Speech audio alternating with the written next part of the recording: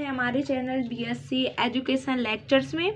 तो यहाँ पे हम पढ़ रहे हैं BSc second year physics second paper है अपना। तो ये वाला क्वेश्चन आप लोग देख सकते हो ट्वेंटी में कई बार कई यूनिवर्सिटीज़ में पूछा गया है। तो सबसे पहले क्वेश्चन को पढ़ते हैं। क्वेश्चन क्या कह रहा है? ठीक है? क्वेश्चन है अपना एक समान चुंबकीय क्षेत्र में स्वतंत्रता पूर्वक लटकी धारावाही कुंडली पर लगने वाले बल आघूर्ण का सूत्र स्थापित कीजिए तथा किस दिशा में यह बल आघूर्ण अधिकतम एवं न्यूनतम होगा? ठीक है? अथवा दूसरे प्रकार का क्वेश्चन इस प्रकार से भी पूछा जा सकता है। एक समान चुंबकीय क्षेत्र में स्वतंत्रता पूर्वक लटके आयताकार धारा लूप पर बल आघूर्ण की गणना कीजिए। तो बल आघूर्ण क्या कहलाता है ये इस वीडियो में देखेंगे ठीक है? क्योंकि जैसा कि आप लोग को पता है हर यूनिट से क्वेश्चन आते हैं तो आप लोग को लो, आप लोगों के लिए हर यूनिट बहुत अच्छे से करनी है। ठीक है? तो सबसे पहले ये वाले तो आप लोग इलेवन ट्वेल्थ में भी कर चुके हो ठीक है? थोड़ा सा हम यहाँ पे आप लोग के लिए इसके बारे में बता दें। सबसे पहले डायग्राम पर चलते क्योंकि इसमें बोल रहे हैं, धारा लूप एक कुंडली लेनी है, ठीक है? तो ये है आप लोग का डायग्राम इसके थ्रू आप लोग क्या करोगे, समझोगे और इसका वर्णन पहले लिखोगे कि क्या क्या आप लोग कर रहे हो, ठीक है? तो सबसे पहले तो ए बी सी डी एक धारा लूप ले लिया। ये अपना ए बी सी डी धारा लूप है, जिसमें धारा प्रवाहित हो रही है और जिसे चुंबकीय क्षेत्र में लटकाया गया है। ठीक है, जो ये ए बी सी डी है, ये अपना धारा लूप है, जिसे चुंबकीय क्षेत्र बी में लटकाया गया है। तथा जब इसमें धारा प्रवाहित की जाती है, तब आप लोग देख सकते हो ए बी व सी डी जो है, वो चुंबकीय क्षेत्र बी के लंबवत है। भुजा, देखो ए बी और ये सी डी इसके लंबवत है चुंबकीय क्षेत्र, और ये जो जो चुंबकीय क्षेत्र है ना, ये बी है। ठीक है, ये लंबवत है। तथा ए बी व सी डी की जो लंबाई है, ये अपनी ए बी और सी डी ये इसकी लंबाई एल है, दोनों की बराबर है, ठीक है, क्योंकि आयताकार है, ठीक है तो ये अपना, ये तो ए बी और सी डी एल बराबर होगा और तथा ए डी व बी सी बी है इसकी लंब, लंबाई, ठीक है? ये चौड़ाई होगी, ये लंबाई होगी, आयताकार, ठीक है? आप लोग इसका क्षेत्रफल कैसे इसको ए से डिनोट करोगे? तो इसका जो आयत मतलब आयत का क्षेत्रफल होगा, लंबाई गुणे चौड़ाई तो लंबाई क्या अपनी बी है? तथा चौड़ाई है जो, वो एल है, ठीक है?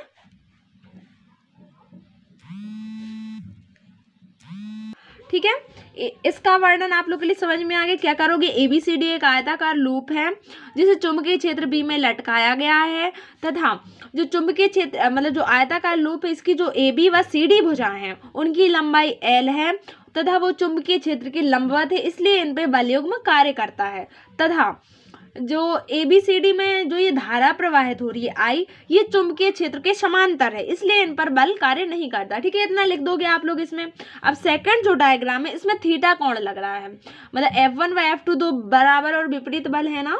तो इसलिए इस पर थीटा कोण लगता है। थीटा कोण जो लगेगा, उसमें आप लोग एफ़ वन व एफ़ टू के बलयुग्म आघूर्ण की गणना करो। इसलिए हमने ये डायग्राम बनाया हुआ है, जिसमें जो थीटा है वो चुंबकीय क्षेत्र की दिशा में कोण बन रहा है, ठीक है?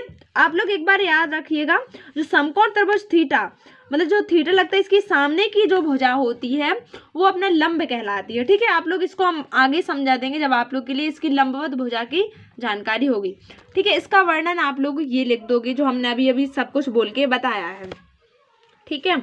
तो ये वही लिखा है, दिए गए चित्र में ए बी सी डी आयताकार लूप है। ए बी सी डी को चुंबकीय क्षेत्र बी में लटकाया गया है। जब ए बी सी डी में धारा आई प्रवाहित करते हैं, तब ए बी व सी डी चुंबकीय क्षेत्र के लंबवत है, अतः इन पर बल कार्य करता है। लेकिन इसमें प्रवाहित जो धारा की दिशा है, वो चुंबकीय क्षेत्र के समांतर है, अतः इस पर बल कार्य नहीं करता। एंड जो लंबाई हमने बताई ए बी बराबर सी डी बराबर एल है, तथा ए डी बराबर डी सी बराबर बी है। इतना क्लियर है? अब आगे चलते हैं। एक चीज़ और आप लोग देख सकते हो, बल, ये एफ़ वन बल लग रहा है, ये एफ़ टू बल लग रहा है। दोनों बराबर और विपरीत है, ठीक है? एफ़ वन है, वो एफ़ टू के विपरीत है। इस आप, इस डायग्राम में आप लोग देख सकते हो। अब चूँकि बलयुग्म का व्यंजक बताना है यहाँ पे तो उसकी थोड़ी सी डेफिनेशन भी देनी पड़ेगी, ठीक है? तो ये डेफिनेशन है, आप लोग पढ़ो। भुजा ए बी व सी डी पर लगने वाले बल। बराबर तथा विपरीत बलों के कारण, यानी इसमें एक बराबर और विपरीत बल लग रहे हैं ना एफ़ वन व एफ़ टू उनके कारण कुंडली पर एक बलयुग्म कार्य करता है। जो बलयुग्म कार्य करने लगता है तो जो आयताकार loop A B C D है, वो दक्षिणावर्त घूम जाती है कुंडली, ठीक है? इसलिए ये बलयुग्म आघूर्ण कहलाता है। मतलब इस पर बल लगता है, बलयुग्म आघूर्ण हो गया। तो आप लोग टाउ की जो डेफिनेशन बलयुग्म आघूर्ण है ना, उसे टाउ से प्रदर्शित करते हैं और इसका फॉर्मूला होता है इसी प्रकार की और वीडियोस देखने के लिए आप लोग चैनल की प्लेलिस्ट पर जाइए। फिजिक्स की ऑल वीडियोस डली हुई सेकंड पेपर की, ठीक है? तो ये इसका फॉर्मूला होता है बल गुणित बलों, दोनों बलों के बीच की दूरी। चित्र बी जो है, उसमें लूप की अक्ष, यानी जो लूप है ए बी सी डी आयताकार, उसका लक्ष्य मतलब अक्ष जो है, चुंबकीय क्षेत्र की दिशा में थीटा कोण बनाती है। तब एफ़ वन व एफ़ टू के बीच लगने वाला बलयुग्म आघूर्ण बल गुणित दोनों बलों के बीच की लंबवत दूरी एफ़ इंटू आर क्यू अब देखो, यहाँ पे ये वाला जो डायग्राम सेकंड वाला है एफ़ वन व एफ़ ये दोनों विपरीत बल लग रहे हैं ना, इनके बीच की दूरी क्या है अपनी? क्यू है ना, लंबवत दूरी? ये आर क्यू इसीलिए यहाँ पे आर क्यू लिया हुआ है। ठीक है, अब आप लोग क्या करोगे? आर क्यू के मान के लिए आप लोग सेकंड वाला डायग्राम देखिए। जो थीटा है, वो बिंदु पी पर बना हुआ है ना, ये समकोण त्रिभुज में? तो यहाँ पे पी बिंदु पर थीटा कोण बना दिया, फिर क्यू आर तो पी क्यू की जो लंबाई है, वो क्या है अपनी? बी दी हुई है। इसीलिए यहाँ पे पी क्यू की लंबाई बी ले ली है। ठीक है, इसमें समकोण त्रिभुज में साइन थीटा लगाते हैं। साइन थीटा क्या होता है? लंब बटे कर्ण। लंब बटे कर्ण। तो लंब क्या है अपना? आर क्यू ठीक है, या फिर क्यू आर बोल सकते हो। अपॉन में कर्ण। कर्ण क्या अपना पी क्यू कर्ण की लंबाई पी क्यू बी पता थी ना, ठीक है? तो यहाँ पे B Q R is equal to B sine theta अब यहाँ पे आर क्यू की वैल्यू पुट कर देते हैं। लेकिन एक बार और, जो एफ़ लग रहा है, जो अपना कुंडली पे मतलब जो ये कुंडली फ़र्स्ट डायग्राम था, बल क्या लग रहा है? एफ़ इज़ इक्वल टू चुंबकीय क्षेत्र आई चुंबकीय क्षेत्र बी कहलाता है और अपनी धारा है और अपना ये एल है लंबाई। ठीक है, ये होता है एक बल। तो यहाँ पे आप लोग जो समीकरण एक दिया था ना यहाँ पे यहाँ पे सभी की वैल्यू पुट करेंगे, बल और लंबवत दूरी की। ठीक है, ये चीज़ समझ में आ गई, दोनों की लंबवत दूरी क्यों ली है? क्योंकि यहाँ पे इसका जो बलयुग माघूर्ण होता है, वो दोनों के बीच में लग रहा है, यानी जो विपरीत और बराबर बल लग रहे हैं, वो इसीलिए यहाँ पे दोनों बलों की लंबवत बीच की दूरी ली हुई है। तो अब समीकरण एक में एफ़ की वैल्यू पुट करते हैं और आर क्यू की। समीकरण एक से, ठीक है तो टाउ इज़ इक्वल टू बल। यानी बल क्या था अपना? एफ़ था ना तो इसकी वैल्यू क्या आई थी अपनी? I L B into Q R Q R की वैल्यू क्या आई अपनी? बी साइन थीटा ठीक है? I L B into B sine theta अब देखो, हमने एक चीज़ और बताया था, क्षेत्रफल. क्षेत्रफल को ए से यहाँ पे प्रदर्शित किया है, लंबाई गुड़े चौड़ाई. ठीक है? बी इंटू एल तो यहाँ पे बी की वैल बी का मान निकाल के यहाँ पे वैल्यू पुट कर देते हैं। यानी चूँकि अगर आप लोग ये ले रहे हो तो पक्षांतर करके बी की वैल्यू निकाल सकते हो ना? ए अपॉन एल यहाँ पे वैल्यू पुट करते हैं I L B into A upon L और अपना ये साइन थीटा आ जाएगा। ठीक है? एल से एल कैंसिल हो जाएगा। तो क्या आ जाएगा? I A B sine theta ये हो गया आप लोग का बलयुग्म आघूर्ण। अभी अधिकतम और न्यूनतम भी करना है, ठीक है?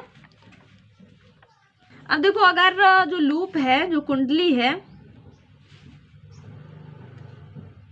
या फिर आप लोग यदि लूप में एन फेरे हैं,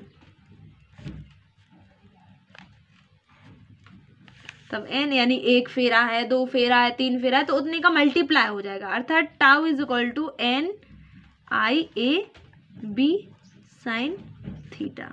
ठीक है, ये हो गया आप लोग का बलयुग्म आघूर्ण का व्यंजक और या फिर फॉर्मूला बोल सकते हो। ठीक है, अब अधिकतम और न्यूनतम कब होगा? अब थीटा की वैल्यू पुट करेंगे। ज़ीरो में कितना होता है नाइनटी में कितना होता है, ये सब कुछ लिखना है यहाँ पे, ठीक है? अधिकतम कब होगा? देखो, अगर साइन ज़ीरो रखेंगे, जी, थीटा की वैल्यू ज़ीरो रखेंगे तो तो न्यूनतम हो जाएगा ना, पूरा ज़ीरो आ जाएगा। ठीक है तो अधिकतम के लिए। फ़र्स्ट आप लोग क्या करोगे? अधिकतम के लिए। Theta is equal to ninety रख दो। रखने पर।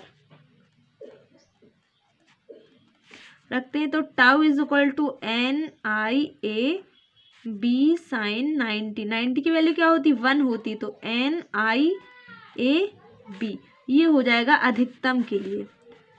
ठीक है? अब लेते हैं न्यूनतम के लिए। न्यूनतम कब आएगा? जब theta is equal to zero लेंगे। कम। ठीक है? न्यूनतम के लिए।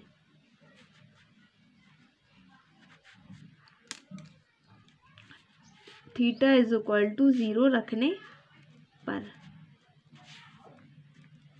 ठीक है, हमने और भी क्वेश्चन सॉल्व करवाए हैं। आप लोग देख सकते हो प्लेलिस्ट में जाकर। इंपॉर्टेंट है, वो जितने भी क्वेश्चन करवाते हैं एन आई ए बी इसकी वैल्यू ज़ीरो तो ये पूरा ज़ीरो हो जाएगा। ठीक है, न्यूनतम के लिए पूरा ज़ीरो आ जाएगा। तो वीडियो पसंद आए तो अपने दोस्तों के साथ शेयर ज़रूर करेगा। थैंक यू मिलते हैं नेक्स्ट वीडियो में। और इसमें केवल हमने दो डायग्राम बनाए थे, जिसमें पहले पूरा धारा लूप का बताया, फिर थीटा कौन लिया, तब बताया, ठीक है? तो वीडियो पसंद आए तो प्लीज़ सब्सक्राइब ज़रूर करिएगा चैनल को। Thank you